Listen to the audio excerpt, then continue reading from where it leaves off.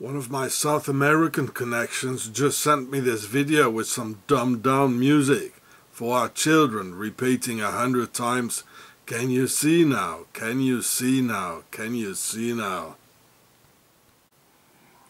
Yes, I see now, Lil Wayne. I see you flying in a Swiss airliner with the Swiss Templars cross and Swiss flag on it. And flying all your money to that base of the financial elite in the Alps with those snow-topped mountains. And I see you, Lil Wayne, being part of that worldwide Swiss family with whom you hold hands. I see you now, Lil Wayne, you're Swiss white inside, an African brown outside, a white nigger from the Alps, spreading bad habits for all little Africans and whiteys too, with one million Swiss Americans currently in the USA controlling all key positions. I see you now, Lil Wayne, doing the Templars V with your Swiss family.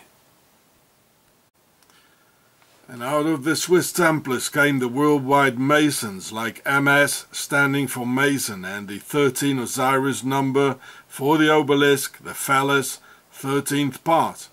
A. Nicki Minaj, with your pants down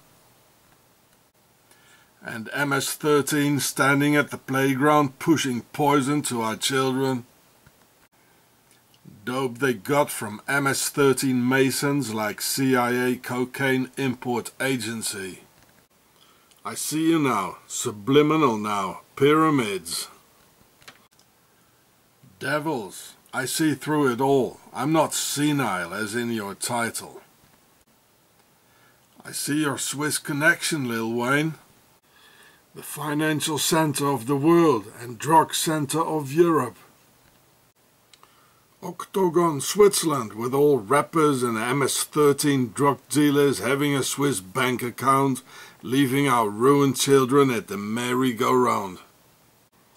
I see you now, Lil Wayne. Switzerland, Swiss airplane, Swiss flag, Swiss cross, the Alps, Swiss family, financial elite, MS-13 Masons, drugs, evil, Swiss servants, Satan's seed.